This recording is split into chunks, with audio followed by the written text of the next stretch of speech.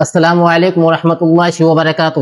امید کرتا ہوں آپ خوش ہو۔ اللہ آپ کو ہمیشہ خوش رکھے۔ آج آپ کو میں اس ویڈیو میں قربانی کے متعلق جو بھی سوالات ہیں، جیسے قربانی کس پر واجب ہے، قربانی کا مفہوم اور قربانی کا حکم، صاحب نصاب کی تعریف، قربانی کا دن، قربانی کے فوائد، قربانی کا وقت، قربانی کا طریقہ وغیرہ وغیرہ۔ آپ کو اس ویڈیو کو مکمل دیکھنے اور سننے کے بعد بہت کچھ سمجھ میں آ جائے گا۔ قربانی کے متعلق پہلا سوال ہے، قربانی کس پر واجب ہے؟ جواب ہے، اس شخص پر واجب ہوتی ہے جو مستطیع ہو یعنی مالی طور پر قربانی کی استطاعت رکھتا ہو۔ شریعت کے مطابق وہ شخص صاحب نصاب، جس کے پاس ساڑھے باون تولہ چاندی یا اس کے برابر مال و دولت، ضروریات زندگی کے علاوہ ہو، جیسے گھر، کپڑے، خوراک وغیرہ۔ اور اسی طرح گھر پہ ہو اور سفر میں قربانی واجب نہیں ہے۔ قربانی صرف بالغ اور عاقل مسلمانوں پر واجب ہوتی ہے۔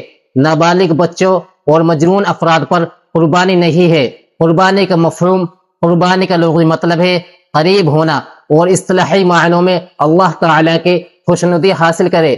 جانور ذبح کرنا ہے۔ یہ عبادت ہمیں حضرت ابراہیم علیہ السلام کی قربانی کی یاد دلاتی ہے۔ جب انہوں نے اپنے بیٹے حضرت اسماعیل علیہ السلام کو اللہ کے حکم پر قربان کرنے کی نیت کی تھی۔ قربانی کے دن، قربانی کا وقت ہے یعنی عربی مہینہ ذوالحجہ کی دسویں، گیارہویں اور بارہویں تاریخ کو ہوتی ہے۔ عید الاضحیٰ کی نماز کے بعد سے لے کر بارہویں ذوالحجہ کے غروب آفتاب تک قربانی کی جا سکتی ہے۔ قربانی کے فوائد، یہ اللہ تعالیٰ کے قریب ہونے کا ذریعہ ہے۔ دینی فائدہ یہ ہے، قربانی کرنا سنت ابراہیم زندہ رہتی ہے اور مسلمان کو اپنے ایمان کی تصدیق کا موقع ملتا ہے۔